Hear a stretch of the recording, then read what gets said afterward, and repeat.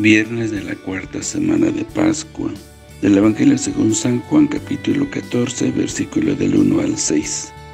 En aquel tiempo Jesús dijo a sus discípulos, no pierdan la paz. Si creen en Dios, creen también en mí. En la casa de mi Padre hay muchas habitaciones. Si no fuera así, yo se los habría dicho a ustedes, porque ahora voy a prepararles un lugar.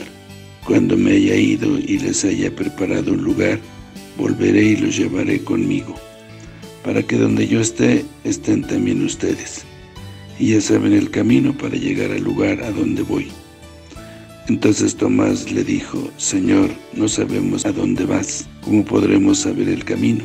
Jesús le respondió, yo soy el camino, la verdad y la vida. Nadie va al Padre si no es por mí. Palabra del Señor. Gloria a ti, Señor Jesús. Estamos en pleno discurso de la última cena. Después de lavar los pies a sus discípulos, Jesús ha anunciado su muerte con la traición de Judas y las negaciones de Pedro. Estos anuncios han creado un clima de tristeza pero Jesús tranquiliza a sus amigos y les asegura que les prepara sitio para estar juntos y les dice, no pierdan la paz. Si creen en Dios, creen también en mí. En casa de mi Padre hay muchas habitaciones. Voy a prepararles un lugar, los llevaré conmigo. Sus palabras son a la vez una promesa y una enseñanza. Son promesa porque Jesús anuncia que si se va, volverá después de que su sacrificio redima al ser humano. Además, se va a prepararles un lugar en la casa de su Padre, ya que a quienes creen en Él, los quiere tener siempre consigo. Necesitamos poner sinceramente nuestra fe en Él y tener la esperanza de que las limitaciones humanas sean trascendidas. Preguntémonos, ¿de veras seguimos con fidelidad el camino que es Jesús? o a veces nos gusta probar otros caminos que nos pueden parecer más atractivos, más fáciles y agradables. Conscientes de que fuera de Él no hay verdad ni vida, porque Él es el único camino, debería notarse en los pequeños detalles de cada día. Aunque seguimos su estilo de vida, en nuestro trato con los demás y en nuestra manera de juzgar los acontecimientos. La Eucaristía es nuestro alimento para el camino, eso es lo que significa la palabra viático, pues necesitamos fuerza para seguir caminando.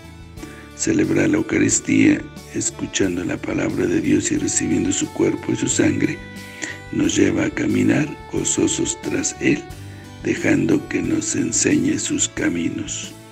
Que el Señor los bendiga.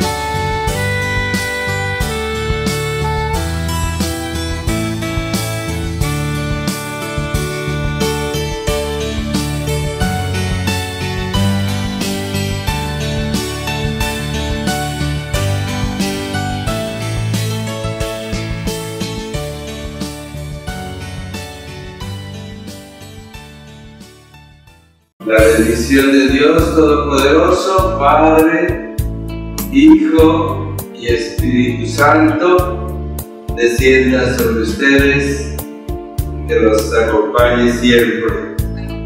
Que el Señor los bendiga. Si te gustó este video y deseas seguir recibiendo el Evangelio, misa en vivo, oraciones y muchas reflexiones más, Ayúdanos a seguir creciendo. Suscríbete a este canal de YouTube. Activa la campana de notificaciones. Deja tu comentario. Dale me gusta. Y compártelo con todos tus seres queridos. Que el Señor te bendiga a ti y a toda tu familia. Bendiciones.